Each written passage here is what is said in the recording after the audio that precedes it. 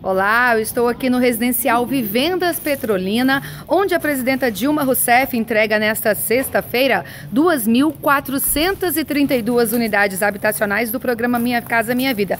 Eu vou conversar agora com a Eudaniza Vitor da Silva, que é auxiliar de serviços gerais e uma das contempladas com a casa própria. Eudaniza, o que, que você está sentindo nesse momento?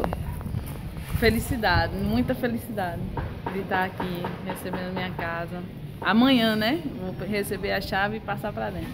Você esperava um dia conseguir realizar o sonho de ter a casa própria? Não. Não, corri muito atrás, às vezes a gente desanima, mas Deus, Deus preparou e ela chegou, o dia chegou. Então vamos conhecer aqui juntas, Eudanise, uma dessas casas que vão ser entregues nesta sexta-feira pela presidenta Dilma Rousseff.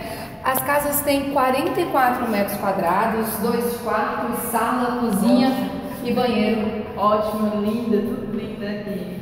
Perfeito. Em comparação com o que você morava antes, é maior ou menor? Maior. Maior e a estabilidade melhor. Só você saber que é sua casa. Perfeito. Tá você perfeito. pagava aluguel? Pagava 300 reais de aluguel, fora água e luz. E agora? Tô aí pagando 25, vou pagar 25. Tá bom demais.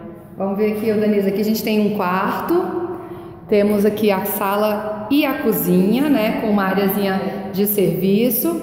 Temos também mais um quarto. E o banheiro. Abre pra gente a porta.